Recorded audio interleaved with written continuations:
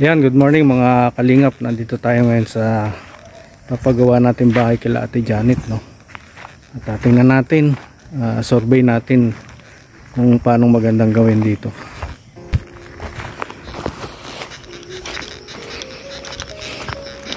Ayan, ito po yung bungad. Ayan. Hindi na po natin binili kasi nung una usapan 35 naging 75 daw. Kaya back to original plan tayo. Dun sa dulo nito medyo pabuka ng konti doon natang doon na lang tayo magtatayo ng bahay ni ate Janet. Ayun na oh, may kahoy na sila doon oh.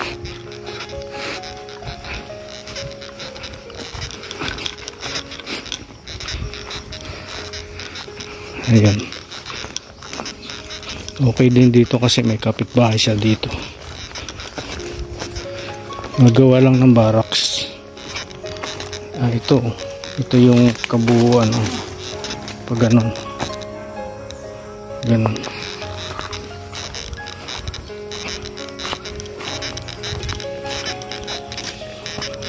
good lumber yan tayo ah. Good lumber. Santol. Ganda. Ipunasan na lang natin yan ng use oil, no? Para hindi yan. Ito na, may tansin na pala. Ano sukat nito tay? 20 yan pa ganun. 20, ilang ano? Ito, dis, bali, dis, Ilang metro? mga 6, ano yun. 6? 6 by 6? Ayun. Ayan, sinukat namin ito 6 6 meters by 6 meters. Dos aguas. Dos aguas to tayo, no? Dos aguas. 6 by 6. Sagad-sagad.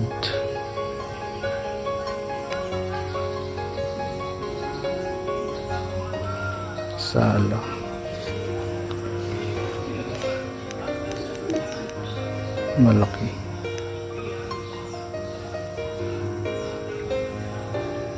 Yan. 5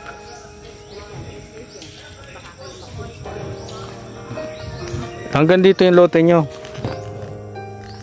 Okay. Okay lang yan malalampas ng hero. Uma-adjust tayo. Ma-adjust tayo. Ma-adjust. Dito ang CR. Kwarto. Kwarto. Dalawang kwarto dito. Dalawang kwarto. Ayun. Ah, ito dalawang kwarto dito. Tapos sala dito. Sala tapos lutuan. Doon na yung CR sa dulo. Doon na natin itapat na natin yung septic tank doon. 'Di ba? Para tapat. Lagyan na lang natin yung singawan sa labas. Kaysa wala ka namang hukaya na. Pag mag-hukay tayo dito, malayo yung biyahe. Maglalabas din dito ang CR. Ha? Dito ang kwarto. Dito ang kwarto. Dito na magawa ng CR. Pwede. Pwede dito. Kailangan mayroon na kasi ditong buhangin, simento. Pwede na, eh, ano, Sino pwedeng kausapin mag-order na tayo? Tapos bakal. Hmm. Bali dito namin gagawin yung CR sa dulo. Septic tank dyan na rin. Hmm. Kung, kung ito yung sagad ng lupa mo. Sinagad mo talaga yung ano, sukat. Pwede ring ano, kung gusto mo nakaiwala yung septic tank, hanggang dito Yung septic tank na yan. Hanggang dito yung dulo ng bahay mo. Or pwede din man sa loob. Pwede nasa loob. Titibayan mo lang yung Flooring. flooring mo. Nasa loob yung ano. Tapos sa likod lalagyan mo singawan yun. Para hindi ka nalalabas ng bahay. Pwede. Dito naman parte sa ano nito. Mm. Pero adjust tayo dito. Kasi yung Bulada. buladas, oh, bulada.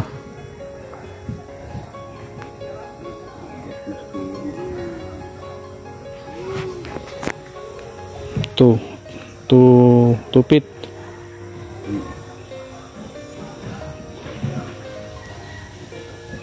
Feet. Kasi problema yan, pag in- cleanim nung kabila na lampas ka, tabas ka talaga. Ano lang dyan. Yung ano. Di bali mag ta- tama lang ang yero di sa ano na yan. Hmm.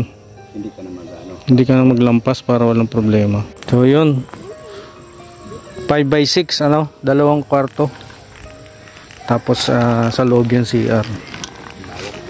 Tapos ano tatanggalin na to. Tatanggalin na tong ano na to. Ayan.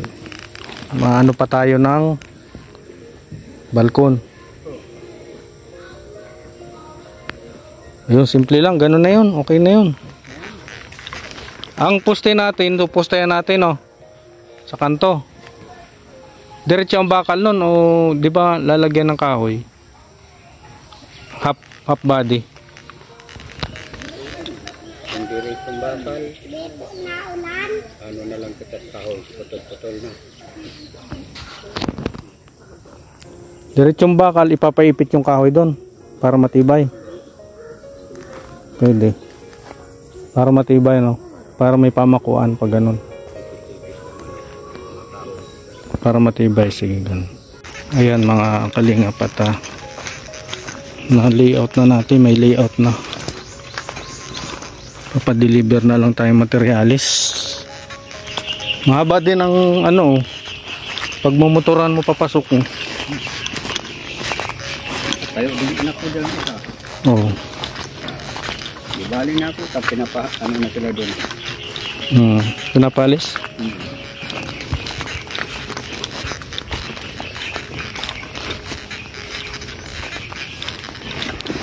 Alin yung sabi niya na ano, 75 is masasakop. Hindi lang. Abot lang dito.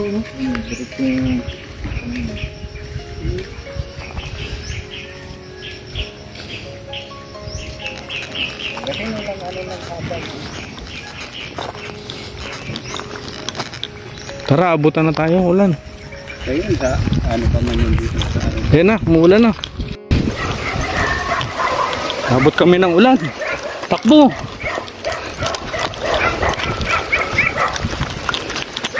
Huh. Hangin pala yun. Hindi kaya tayo malubog doon? Ayan mga kalingap, nandito tayo sa hardware ni Nong at ah, order na tayong materialis ni Ate Janet. No? Antay lang natin si Nonong kasi nasa labas. Wala. Mamaya na lang, balikan ko na lang. Oh, tay. Pang pangkain niyo bukas doon. Pangkain. Ma mabil ano lang, 3. 3 kilos lang. O ayan, nag-order na tayo kay Bronong. Kahit may utang pa tayong semento dyan. Ilan yung utang ko? 20 cement ko lang. 20. Ah, pa akong 3-4. Meron na, meron na pa ako. oo. Ano pa? Yan lang muna.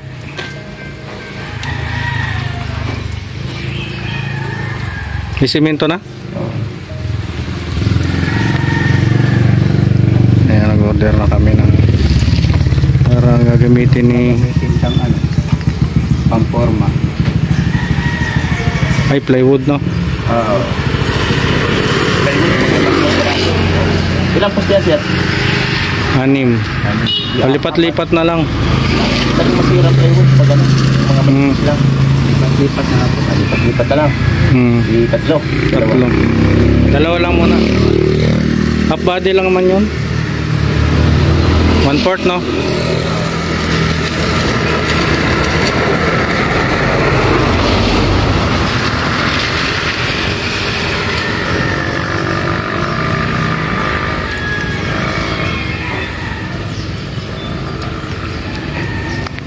Ito po ang matinding ano, hardware. Oh.